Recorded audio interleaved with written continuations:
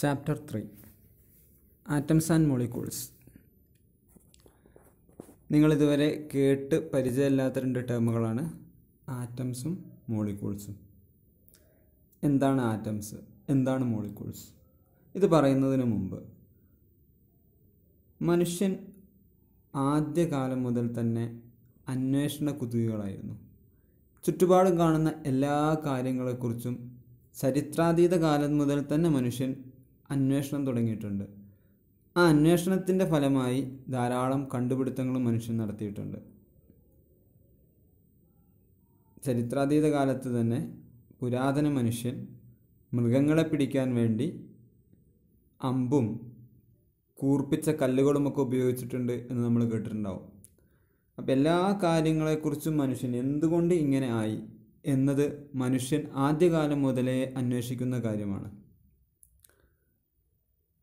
നമ്മൾ തൊട്ട് മുമ്പത്തെ ചാപ്റ്ററിൽ മാറ്ററിനെ കുറിച്ച് പഠിച്ചു. മാറ്ററിനെ കുറിച്ച് പഠിക്കുന്ന സമയത്ത് നമ്മൾ പറഞ്ഞു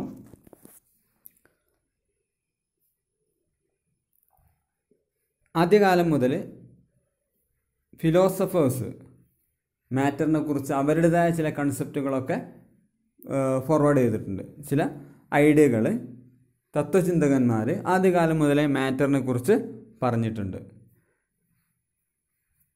ആദ്യകാല മനുഷ്യന്റെ ആദ്യ കാലഘട്ടങ്ങളിൽ പുരാതന ഗ്രീക്ക് സംസ്കാരങ്ങളിൽ ബി സി അഞ്ഞൂറുകളിലൊക്കെയുള്ള ഇന്ത്യൻ സംസ്കാരങ്ങളിൽ അതിനോടടുത്ത കാലഘട്ടങ്ങളിൽ ഫിലോസഫേഴ്സ് ആയിരുന്നു സമുദായത്തിന്റെ അല്ലെങ്കിൽ സമൂഹത്തിന്റെ മൊത്തം കാര്യങ്ങളെ കൺട്രോൾ ചെയ്തിരുന്നത്. നിങ്ങൾ ഫ്രഞ്ച് വിപ്ലവത്തെക്കുറിച്ചൊക്കെ ചിലപ്പോൾ കേട്ടിട്ടുണ്ടാവും. ഫ്രഞ്ച് വിപ്ലവത്തിനൊക്കെ ഫിലോസഫേഴ്സാണ് നേതൃത്വം കൊടുത്തത്. ഫിലോസഫേഴ്സിന് അത്രയധികം സ്വാധീനമുണ്ടായിരുന്നു ആ സമുദ ആ കാലഘട്ടങ്ങളിൽ. അതുകൊണ്ട് തന്നെ ആ കാലഘട്ടങ്ങളിലുള്ള കണ്ടുപിടുത്തങ്ങൾ ആ കാലഘട്ടങ്ങളിലുള്ള എല്ലാ കാര്യങ്ങൾക്കും മുൻപന്തിയിലുണ്ടായിരുന്നത് ഫിലോസഫേഴ്സാണ് നമ്മളീ പറഞ്ഞ ആറ്റംസ് മോളിക്യൂൾസ് എന്ന കൺസെപ്റ്റൊക്കെ ആദ്യമായിട്ട് ഫോർവേഡ് ചെയ്യുന്നത് ഫിലോസഫേഴ്സാണ് ഫിലോസഫേഴ്സിന് ഒരിക്കലും ഒരു എക്സ്പെരിമെന്റൽ ബാക്ക്ഗ്രൗണ്ട് ഉണ്ടാവില്ല. ഒരു കാര്യത്തിലും ഒരു പരീക്ഷണം നടത്തി അത് വിജയിച്ചിട്ട് ഇന്ന രീതിയിൽ പരീക്ഷണം നടത്തിയത് കൊണ്ടാണ് ഈ റിസൾട്ട് കിട്ടിയത്. അതുകൊണ്ട് ഇന്ന രീതിയിൽ കാര്യങ്ങൾ വരും എന്ന് പറയാൻ അവർക്ക് ഒരിക്കലും കഴിയില്ല. അവർ അവരുടേതായ ചില ഐഡിയകൾ പറയും. ചില തത്വചിന്തകൾ പറയും. ചിലപ്പോഴത് ശരിയായിരിക്കാം അല്ലെങ്കിൽ അത് തെറ്റായിരിക്കാം. പക്ഷെ ആ കാലഘട്ടങ്ങളിൽ അവർ പറഞ്ഞ ആ ഒരു ചിന്തയെ കവച്ചു വെക്കുന്ന മറ്റൊരു ചിന്ത ആർക്കും ഉണ്ടായിരുന്നില്ല എന്നുള്ളതാണ് ആ കാലഘട്ടങ്ങളിലെ ഫിലോസഫേഴ്സിന്റെ പ്രത്യേകത. മാറ്ററിനെ കുറിച്ചും ആദ്യമായി ചിന്തിച്ചു തുടങ്ങിയത് ഫിലോസഫേഴ്സാണ് ആദ്യകാലങ്ങളിലുണ്ടായിരുന്ന കൺസെപ്റ്റ് എന്ന് പറഞ്ഞാൽ ഈ അന്തരീക്ഷം എന്ന് പറയുന്നത് ഒറ്റ സാധനമാണ് എന്നുള്ള കൺസെപ്റ്റായിരുന്നു വ്യത്യസ്ത ഗ്യാസുകൾ ഉണ്ടെന്നോ വ്യത്യസ്ത വാദങ്ങൾ കൂടിച്ചേർന്നാണ് അന്തരീക്ഷം ഉണ്ടായിരുന്നെന്നോ അറിയുമായിരുന്നില്ല. അതുപോലെ തന്നെ എന്തുകൊണ്ടായിരിക്കാം വസ്തുക്കളെ സൃഷ്ടിച്ചിട്ടുള്ളത് മാറ്റർ ഉണ്ടാക്കിയിട്ടുള്ളത്? സ്വർണവും ഇരുമ്പും എങ്ങനെ വേറെ വ്യത്യസ്ത രൂപത്തിലാവുന്നു? അല്ലെങ്കിൽ ഓരോ വസ്തുക്കളും എങ്ങനെ വ്യത്യസ്ത രൂപത്തിലാവുന്നു? പല പല വസ്തുക്കൾക്കും പല വെയിറ്റുകൾ പല കളറുകൾ ഒക്കെ എങ്ങനെ വരുന്നു അതിനെക്കുറിച്ച് മനുഷ്യൻ ആദ്യകാലം മുതലേ ചിന്തിച്ചിരുന്നു. മാറ്ററിന്റെ ഡിവിസിബിലിറ്റിയെക്കുറിച്ച് മാറ്ററിനെ ഡിവൈഡ് ചെയ്യാം. നമ്മൾ കഴിഞ്ഞ ക്ലാസ്സിൽ പറഞ്ഞ പോലെ ഡിവൈഡ് ചെയ്യാൻ പറ്റും എന്ന ഒരു കൺസെപ്റ്റിലേക്ക് അഞ്ഞൂറ് ബി സിയിൽ ജീവിച്ചിരുന്ന മഹർഷി കനാഡ് എന്ന് പറയുന്ന ഒരു ഇന്ത്യൻ ഫിലോസഫർ അയാളുടേതായ കുറേ സംഭാവനകൾ ചെയ്തിട്ടുണ്ട്. അയാൾ പറഞ്ഞത് മാറ്റർ നമ്മൾ ഡിവൈഡ് ചെയ്ത് ഡിവൈഡ് ചെയ്ത് ഡിവൈഡ് ചെയ്ത് പോവുകയാണെങ്കിൽ അവസാനം ഫർദർ സബ് ഡിവിഷൻസ് പോസിബിൾ അല്ലാത്ത പിന്നീട് ഡിവൈഡ് ചെയ്യാൻ കഴിയാത്ത ഒരു സ്റ്റേജിൽ എത്തിച്ചേരും. ആ സ്റ്റേജിൽ എത്തിച്ചേരുമ്പോൾ കിട്ടുന്ന വസ്തുവിനെ അയാൾ വിളിച്ച പേര് പരമാണു എന്നാണ്. പരമാണു. സമീപകാലങ്ങളിൽ തന്നെ ജീവിച്ചിരുന്ന മറ്റ് പല ഫിലോസഫേഴ്സും പകുത കാത്യായൻ പോലെയുള്ള പല ഫിലോസഫേഴ്സും ഇതിനെ സപ്പോർട്ട് ചെയ്യുന്ന രീതിയിലുള്ള പല കണ്ടുപിടുത്തങ്ങളും പല പ്രസ്താവനകളും നടത്തിയിട്ടുണ്ട്. പകുത കാത്തിയ എന്ന് പറയുന്ന ആൾ പറഞ്ഞത് particles normally ex combined form which give us various form of matter particles പരമാണുക്കൾ ഒരുമിച്ച് കൂടിയിട്ടാണ് മാറ്റർ ഉണ്ടാവുന്നത് എന്നുള്ളൊരു കൺസെപ്റ്റാണ് ഇയാൾ പറഞ്ഞത്. ഇതിന്റെ ഏകദേശം അതേ കാലഘട്ടങ്ങളിൽ തന്നെ ഏകദേശം ആ കാലഘട്ടം നാനൂറ്ററുപത് ടു മുന്നൂറ്ററുപത് ബി സി ആ കാലഘട്ടങ്ങളിൽ ജീവിച്ചിരുന്ന ഗ്രീക്ക് ഫിലോഫ് ഫിലോസഫേഴ്സ് ആയിരുന്ന ഡെമോക്രിറ്റസ് ലൂസിപ്പസ് പോലുള്ള ആളുകളും ഇതേ കൺസെപ്റ്റാണ് പറഞ്ഞിട്ടുള്ളത്. രണ്ടും രണ്ട് വ്യത്യസ്ത ഏരിയ സ്ഥലങ്ങളാണ് പരസ്പരം ആശയവിനിമയം നടത്തിയിട്ടൊന്നുമല്ല പറയുന്നത്. ഇന്ത്യയിലുള്ള ഫിലോസഫേഴ്സ് പറഞ്ഞ അതേ ഐഡിയ തന്നെയാണ് ഗ്രീക്കിലുള്ള ഫിലോസഫേഴ്സും പറഞ്ഞത്. അവർ പരമാണു എന്ന വേർഡിന് പകരം ആറ്റംസ് എന്ന് ഉപയോഗിച്ചു. ആറ്റംസ് എന്ന വേർഡിന് അർത്ഥം ഇൻഡിവിസിബിൾ എന്നാണ്. ഇൻഡിവിസിബിൾ അതായത് ഫർദർ ഡിവിഷൻ പോസിബിൾ അല്ലാത്ത സാധനം എന്നർത്ഥം. ഈ പറഞ്ഞതെല്ലാം ഫിലോസഫേഴ്സ് ഫിലോസഫിക്കൽ തിങ്കിങ് ആണ്. ഒന്നിനും ഒരു എക്സ്പെരിമെന്റൽ ബാക്ക്ഗ്രൗണ്ടും ഉണ്ടായിരുന്നില്ല. ഈ ചാപ്റ്ററിൽ നമ്മൾ പഠിക്കാൻ പോകുന്നത് ആറ്റംസിനെയും മോളിക്യൂൾസിനെയും കുറിച്ചാണ്. നമ്മൾ ആദ്യമായിട്ട് പഠിക്കുകയാണ്. അപ്പോൾ അതിന്റെ ഏറ്റവും ബേസിക് ആയിട്ടുള്ള കാര്യങ്ങൾ നമ്മൾ പഠിച്ചു തുടങ്ങും. പിന്നെ atomic mass molecular mass mole concept molar mass എങ്ങനെ ഒരു ആറ്റത്തിന്റെ കെമിക്കൽ ഫോർമുല എഴുതാം? തുടങ്ങി ആറ്റവുമായി ബന്ധപ്പെട്ട് ഏറ്റവും ബേസിക്കായി പഠിച്ചിരിക്കേണ്ട എല്ലാ കാര്യങ്ങളും നമ്മൾ ഈ ചാപ്റ്ററിൽ പഠിക്കും. അപ്പോൾ എന്റെ പ്രിയപ്പെട്ട വിദ്യാർത്ഥികൾ പ്രത്യേകം ശ്രദ്ധിക്കേണ്ട കാര്യം ഇതൊരു ബേസിക് ചാപ്റ്ററാണ് ഒരു ഫസ്റ്റ് ചാപ്റ്ററാണ് നമ്മളിനി പഠിക്കാൻ പോകുന്ന ഒരു അഞ്ച് ആറ് ചാപ്റ്ററുകളുടെ ഏറ്റവും ആദ്യത്തെ ചാപ്റ്ററാണിത് ഈ ചാപ്റ്റർ കൃത്യമായി മനസ്സിലായാൽ മാത്രമേ തുടർന്നുള്ള ചാപ്റ്ററുകളൊക്കെ മനസ്സിലാവും. അല്ലെങ്കിൽ ഇവിടുന്ന് അങ്ങോട്ടുള്ള ഒരു ചാപ്റ്ററും ഒന്നും മനസ്സിലാവില്ല. അപ്പം അതുകൊണ്ട് തന്നെ വളരെ കൃത്യമായി ശ്രദ്ധിച്ച് നന്നായി ഈ ചാപ്റ്റർ പഠിക്കണം. ഞാൻ വളരെ കുറച്ച് ഭാഗം മാത്രമേ എടുക്കുള്ളൂ. നന്നായിട്ട് വിശദീകരിക്കും. എന്തെങ്കിലുമൊക്കെ സംശയങ്ങളുണ്ടെങ്കിൽ അത് ക്ലിയർ ചെയ്തുകൊണ്ട് വളരെ വിശദമായി തന്നെ ഈ ചാപ്റ്റർ പഠിക്കണം. ഈ ചാപ്റ്റർ പഠിച്ചു കഴിഞ്ഞാൽ തുടർന്നുള്ള ചാപ്റ്റർ വളരെ എളുപ്പമാണ്. വളരെ സിമ്പിളായിട്ട് നമുക്ക് പഠിക്കാൻ കഴിയും. ഇനി നമ്മൾ പഠിക്കാൻ പോകുന്നത് പതിനെട്ടാം നൂറ്റാണ്ടിൽ സയന്റിസ്റ്റുകൾ ഫോർവേഡ് ചെയ്ത കാര്യമാണ്. നമ്മൾ പറഞ്ഞത് അഞ്ഞൂറ് ബി സിയിലുള്ള ഫിലോസഫേഴ്സിന്റെ ചിന്തകളാണ് തൊട്ട് മുമ്പ് പറഞ്ഞത്. അവിടെ നിന്നൊക്കെ കുറേ വർഷങ്ങൾക്ക് ശേഷം സയന്റിസ്റ്റുകൾ എന്ന് പറയുന്ന ഒരു ടീം അതായത് ഒരു കാര്യത്തെക്കുറിച്ച് കൃത്യമായി പഠിച്ചതിന് ശേഷം പരീക്ഷണങ്ങൾ നടത്തി ആ റിസൾട്ടിൽ നിന്ന് ഒരു പുതിയ നിഗമനത്തിൽ എത്തിച്ചേരുന്ന രീതിയിൽ കാര്യങ്ങൾ ചെയ്യുന്ന ആളുകൾ. അവർ ഒരു കാര്യങ്ങളും വെറുതെ പറയില്ല. സയന്റിസ്റ്റുകൾ ഏതെങ്കിലും കാര്യം പറയുകയാണെങ്കിൽ അവരുടെ ചിന്തയിൽ നിന്നുള്ള കാര്യം പറയില്ല. അവരുടെ ചിന്തയിൽ ഒരു കാര്യം വന്നു കഴിഞ്ഞാൽ അവരത് പ്രാക്ടിക്കലായിട്ട് ചെയ്തു നോക്കും. ചെയ്തു നോക്കിയിട്ട് റിസൾട്ട് കിട്ടിയാൽ മാത്രമേ അവർ ആ കാര്യം പുറത്ത് പറയുകയുള്ളൂ. അപ്പോൾ പതിനെട്ടാം നൂറ്റാണ്ടിൽ ഈ ആറ്റംസിന്റെ അല്ലെങ്കിൽ ഈ മാറ്ററിന്റെ കേസിൽ പഠനത്തിൽ വളരെ വലിയൊരു പുരോഗതിയാണ് ഉണ്ടായത്.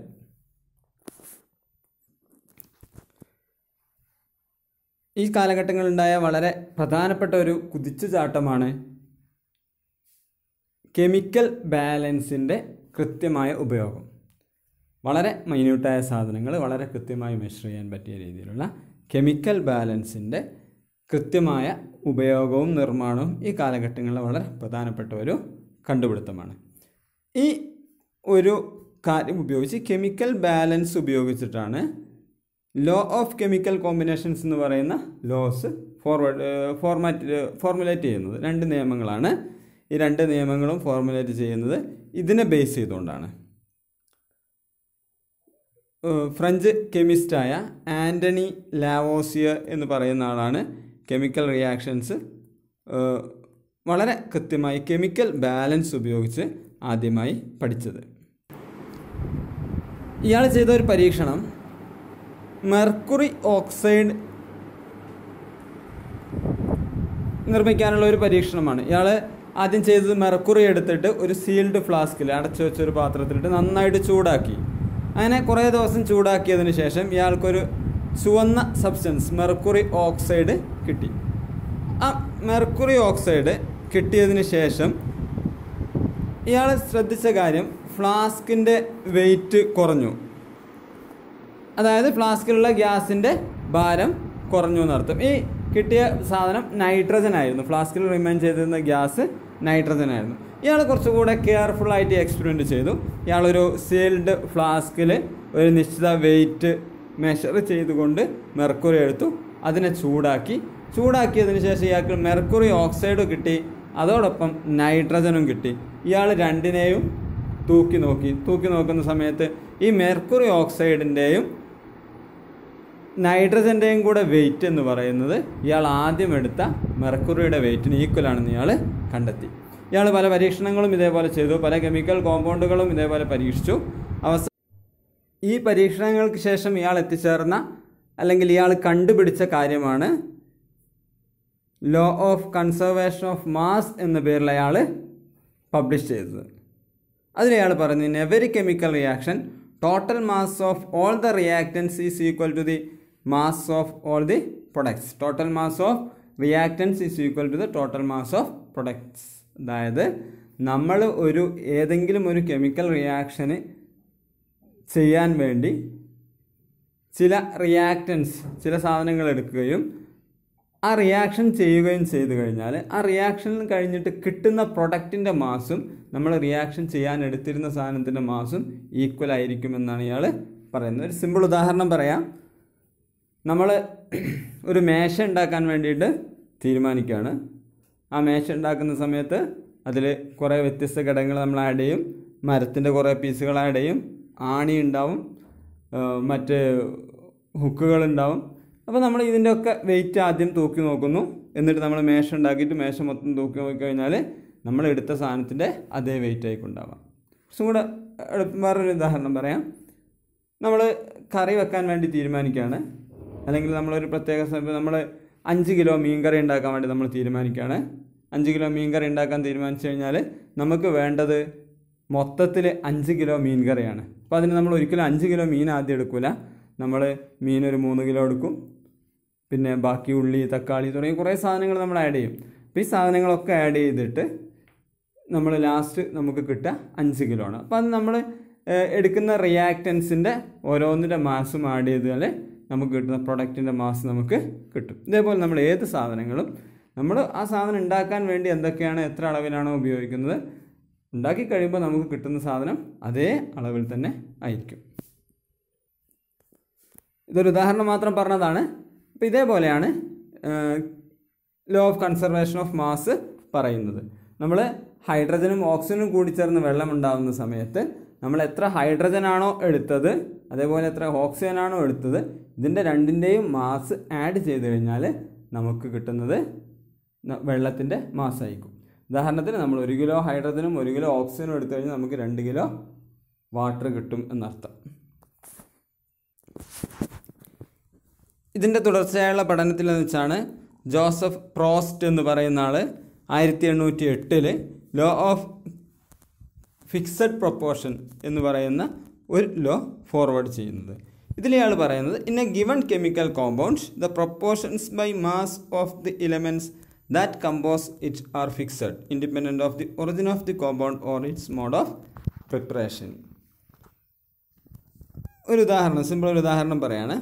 നമ്മൾ പ്യുവർ വാട്ടർ എടുക്കുകയാണെങ്കിൽ the ratio of mass of hydrogen to the mass of oxygen is always one is to eight hide ഹൈഡ്രജനും ഓക്സിജനും കൂടി ചേർന്നിട്ടാണ് വാട്ടർ ഉണ്ടാകുന്നത് അപ്പം നമ്മൾ ഒരു ഒൻപത് ഗ്രാം വാട്ടർ എടുത്തിട്ട് നമ്മൾ അതിൽ ഹൈഡ്രജനെയും ഓക്സിജനെയും എടുത്ത് തൂക്കി നോക്കിയാൽ നമുക്ക് കാണാം ഒരു ഗ്രാം ഹൈഡ്രജനും എട്ട് ഗ്രാം ഓക്സിജനും ഉണ്ടാവാം നമ്മൾ പതിനാറ് ഗ്രാം പതിനെട്ട് ഗ്രാം വെള്ളം എടുത്തിട്ട് നമ്മൾ തൂക്കി നോക്കിക്കഴിഞ്ഞാൽ അതിൽ രണ്ട് ഗ്രാം ഹൈഡ്രജനും പതിനാറ് ഗ്രാം ഓക്സിജനുമാണ് ഉണ്ടാവുക. അപ്പം നമ്മൾ എവിടെ നിന്ന് വെള്ളം എടുത്ത് നമ്മൾ എവിടെ നിന്ന് നമ്മൾ ഒമ്പത് ഗ്രാം വെള്ളം എടുത്ത് തൂക്കിക്കഴിഞ്ഞാലും വെള്ളം എടുത്ത് നോക്കിക്കഴിഞ്ഞാലും അതിലൊരു ഗ്രാം ഹൈഡ്രജനും എട്ട് ഗ്രാം ഓക്സിജനും ഉണ്ടാവും. വെള്ളം ഉണ്ടാവണമെങ്കിൽ വൺ ഇസ് ടു എയ്റ്റ് എന്ന് പറയുന്ന അനുപാതത്തിൽ ഒരു ഗ്രാം എട്ട് ഗ്രാം മനസ്സിലാൻ വേണ്ടി പറഞ്ഞാണ്. വൺ ഇസ് ടു എയ്റ്റ് എന്ന് പറയുന്ന അനുപാതത്തിൽ ഹൈഡ്രജനും ഓക്സിജനും കൂടി ചേർന്നാൽ മാത്രമേ വെള്ളം ഉണ്ടാവുള്ളൂ. ഇതേപോലെ ഏത് കെമിക്കൽ കോമ്പൗണ്ടുകളാണെങ്കിലും ആ കോമ്പൗണ്ടുകളൊക്കെ പ്രൊപ്പോർഷൻ ബൈ മാസ് ഒരു വളരെ കൃത്യമായിരിക്കും. എവിടെ നിന്ന് നമ്മൾ എടുത്തു കഴിഞ്ഞാലും പ്രൊപ്പോർഷൻ ബൈ മാസ് അതിലുള്ള റിയാക്റ്റൻസ് എപ്പോഴും കൃത്യമായിരിക്കും സെയിം ആയിരിക്കും ഉണ്ടാവാം നമ്മൾ സാധാരണ റെസിപ്പി പറയാറുണ്ട്. ഏതെങ്കിലും ഫുഡ് ഉണ്ടാക്കുന്നതിനെ കുറിച്ച് നമ്മൾ പറയുന്ന സമയത്ത് നമ്മൾ പറയാറുണ്ട് ഇരുന്നൂറ്റൻപത് ഗ്രാം ചിക്കൻ മൂന്ന് ഗ്രാം മുളക് പൊടി മൂന്ന് ഗ്രാം മല്ലിപ്പൊടി അര ഗ്രാം മഞ്ഞൾപ്പൊടി തുടങ്ങി നമ്മൾ വളരെ കൃത്യമായിട്ട് അതിൽ ഉപയോഗിക്കേണ്ട ഓരോ സാധനങ്ങളും നമ്മൾ പറയാറുണ്ട്. ആ റെസിപ്പി ഉപയോഗിച്ച് ഉണ്ടാക്കിയാൽ മാത്രമേ നമ്മൾ ഉദ്ദേശിച്ച രീതിയിലുള്ള പ്രൊഡക്റ്റ് നമുക്ക് കിട്ടൂ. അല്ലെങ്കിൽ വേറെ എന്തെങ്കിലും കൈക്കും കിട്ടുക. മനസ്സിലാവുന്നുണ്ടല്ലോ? നമ്മൾ ഒരു പ്രത്യേക സാധനം ഉണ്ടാക്കുന്ന സമയത്ത് നമ്മൾ അതിൽ ആഡ് ചെയ്യുന്ന ഓരോ സാധനങ്ങളും വളരെ കൃത്യമായിരുന്നാൽ മാത്രമേ നമുക്ക് ആ പ്രൊഡക്റ്റ് കിട്ടുകയുള്ളൂ. ഇതേപോലെയാണ് കെമിക്കൽ കോമ്പൗണ്ടുകളുടെയും അവസ്ഥ.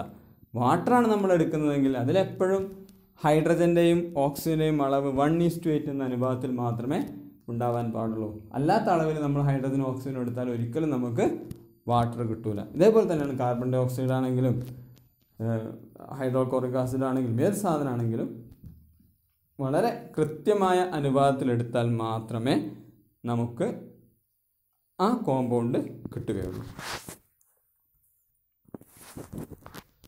ഈ രണ്ട് ലോ ലോ ഓഫ് ഡെഫിനിറ്റ് പ്രൊപ്പോർഷൻസും ലോ ഓഫ് കൺസർവേഷൻ ഓഫ് മാസും ഈ രണ്ട് ലോയാണ് ഏറ്റവും ബേസിക് ആയിട്ട് അല്ലെങ്കിൽ ഏറ്റവും ആദ്യമായിട്ട്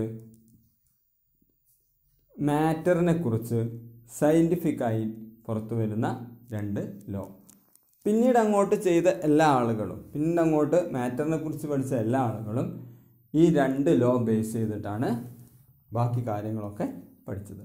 പിന്നീട് മാറ്ററിനെ കുറിച്ച് പല കൺസെപ്റ്റുകളും വന്നു. പക്ഷേ അതൊക്കെ പിൽക്കാലത്ത് തിരുത്തപ്പെട്ടു. എന്നാലും ഇന്നും വളരെ കൃത്യമായ രീതിയിൽ ഈ രണ്ട് ലോയും മാറ്റർ ഫോളോ ചെയ്യുന്നുണ്ട്. അതായത് ഈ രണ്ട് ലോ അനുസരിച്ച് മാത്രമാണ് ലോകത്ത് മാറ്ററുമായി ബന്ധപ്പെട്ട എല്ലാ കാര്യങ്ങളും കെമിക്കൽ റിയാക്ഷൻസ് പുതിയ പുതിയ കോമ്പൗണ്ടുകൾ ഉണ്ടാവുന്നത് തുടങ്ങിയ എല്ലാ കാര്യങ്ങളും ഈ രണ്ട് ലോ കൃത്യമായി ഫോളോ ചെയ്യുന്നുണ്ട്. ഇന്ന് നമ്മൾ പഠിച്ച വളരെ പ്രധാനപ്പെട്ട രണ്ട് കാര്യങ്ങളാണ് ലോ ഓഫ് കൺസർവേഷൻ ഓഫ് മാസും ലോ ഓഫ് ഡെഫിനിറ്റ് പ്രൊപ്പോർഷൻസും ഇത് രണ്ടും വളരെ കൃത്യമായി മനസ്സിലാക്കണം. ഇതിനെ ബേസ് ചെയ്ത് മാത്രമാണ് നമ്മൾ ഇനി അങ്ങോട്ടുള്ള ഈ ചാപ്റ്ററിലെ എല്ലാ കാര്യങ്ങളും നമ്മൾ പഠിക്കുക. ഏറ്റവും ബേസിക് ആയിട്ടുള്ള രണ്ട് ലോ ആണ് law of conservation of mass and law of definite proportions ഇന്ന് ഇന്നത്തെ ചാപ്റ്റർ നമുക്ക് ഇതോടുകൂടെ നിർത്താം.